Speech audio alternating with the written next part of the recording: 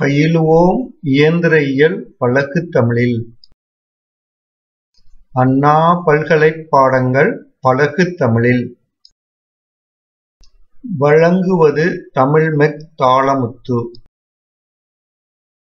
Hi students இன்று ME six five zero two heat and mass ட்ரான்ஸ்ஃபரில் fourth unit இது thermal radiation module four point zero three what is meant by thermal radiation and what is its wavelength band thermal ரேடியேஷன்னா என்னன்னு சொல்லணும். What is its wavelength band wave லென்த்துக்கு தான் shorter the wavelength higher the எனர்ஜின்னு போன மாடியூலில் படித்தோம் அப்போ wave length நிச்சயமாக measure பண்ணி ஒரு ஸ்கேல் வச்சுருப்பாங்க. அந்த ஸ்கேலில் எந்த இடத்துல இருக்குது அப்படிங்கிறத நம்ம சொல்லணும். இந்த type of electro magnetic radiation that is relevant to heat transfer is call thermal radiation இப்போ மேக்னட்டிக் வேவ் லென்த் வந்து நிறையா இருக்குது இதுலேயே தான் எக்ஸ்ரே காமாரே எல்லா இதுவும் இருக்குது. இதில் இன்ஃப்ராரெட் இருக்குது அல்ட்ரா வயலட் இருக்குது காமாரேஸ்னு இருக்குது எக்ஸ்ரேஸ் இருக்குது நம்ம விஷுவலாக பார்க்கக்கூடிய லைட் இருக்குது எல்லாம் இருக்குது. அதில் எது ஹீட்டை ட்ரான்ஸ்ஃபர் பண்ணக்கூடியதாக இருக்குதோ அந்த இதுக்கு மேக எலக்ட்ரோ மேக்னட்டிக் ரேடியேஷனுக்கு பேர் தான் என்னது?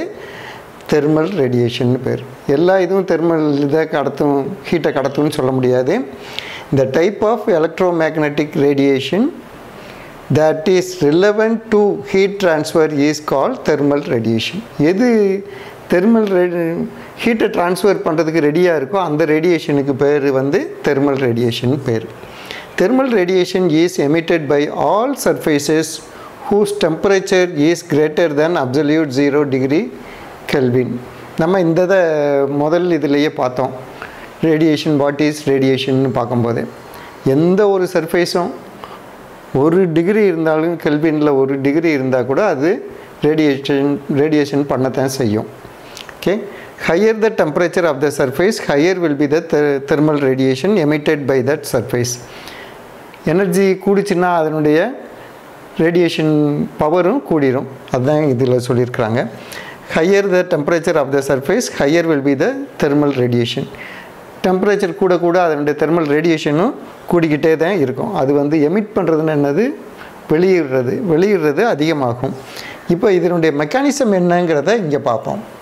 அதான் தெர்மல் வாட் இஸ் தெர்மல் ரேடியேஷன்னா அப்போ தான் நமக்கு என்னன்னு தெரியும். அந்த மெக்கானிசம் சொன்னது தான் நமக்கு தெரியும். இதில் இங்கே ஒரு சர்ஃபேஸ் இருக்குது இங்கே ஒரு சர்ஃபேஸ் இருக்குது இன் பிட்வீன் ஸ்டேஜ் டூங்கிறதுல ஒரு மீடியம் இருக்குது அது என்ன மீடியம்னாலும் இருக்கலாம். ஏராக இருக்கலாம் லிக்விடாக இருக்கலாம் அல்ல எதுவுமே இல்லாத வேக்கமாக கூட இருக்கலாம். இப்போ இந்த மூணு இது இருக்குது. இதில் எப்படி நடக்குது? இங்கேருந்து ஒரு சர்ஃபேஸ்லேருந்து இன்னொரு சர்ஃபேஸ்க்கு எப்படி ஹீட் ட்ரான்ஸ்ஃபர் ஆகி வேவ் லென்ஸில் போகுதுங்கிறத பார்ப்போம். At stage one heat energy at the surface one is converted into electro magnetic waves இங்கே டெம்பரேச்சர் கூட இருந்ததும் என்ன ஆகுது? அல்ல டெம்பரேச்சர் கூடன்னு கூட அவசியம் இல்லை. எல்லா நேரத்துலையுமே அது எமிட் பண்ணும். இங்கேருந்து ஹீட் வந்து என்னவா கன்வெர்ட் ஆகிடுது எலக்ட்ரோ மேக்னட்டிக் வேவாக கன்வெர்ட் ஆகி போகுது. At stage one heat energy at the surface one is converted into electromagnetic waves. Waves இங்கே வந்து electromagnetic wave வேவாக கன்வெர்ட் ஆகி போய்கிட்டு இருக்கேன் at stage two transportation of this electromagnetic waves through medium between two surfaces இந்த ரெண்டு சர்ஃபேசஸ்க்கு இடையில் இருக்க மீடியத்து வழியாக இதில் டிரான்ஸ்போர்ட்டேஷன் ஆகுது. அந்த electromagnetic wave at stage three இந்த stage three when electromagnetic wave strikes ஸ்ட்ரைக்ஸ்னு என்னது படுறது இதில் போய் பட்டதும் at the stage 3 when the electromagnetic wave strikes the surface 2 it is converted into heat energy இங்கே எலக்ட்ரோமேக்னட்டிக் வேவ் இதில் போய் ஸ்ட்ரைக் ஆனதும் அதில் போய் பட்டதும் இங்கே தான் அது வந்து என்னவா மாறுது? ஹீட் எனர்ஜியாக மாறுது. எலக்ட்ரோமேக்னட்டிக் வேவ்ஸ் வந்து ஹீட் எனர்ஜியாக அந்த சர்ஃபேஸ்க்கு மாறுது. அப்போ முதல்ல இந்த சர்ஃபேஸில் ஹீட் எனர்ஜி வந்து எலக்ட்ரோமேக்னட்டிக் வேவாக கன்வெர்ட் பண்ணி அது தள்ளி கொடுது இந்த ரெண்டாவது இருக்கிற மீடியம் வந்து அதை கடத்தி கொடுக்குது. இல்லை அதில் எதுவுமே வேக்கமாக இருந்தால் கூட அது எலக்ட்ரோ மேக்னெட்டிக் வேவ் வந்து கடந்து போயிடும் அங்கே போய் இந்த சர்ஃபேஸில் போய் ஸ்ட்ரைக் பண்ணதும் போய் பாஞ்சதும் என்ன ஆகுது?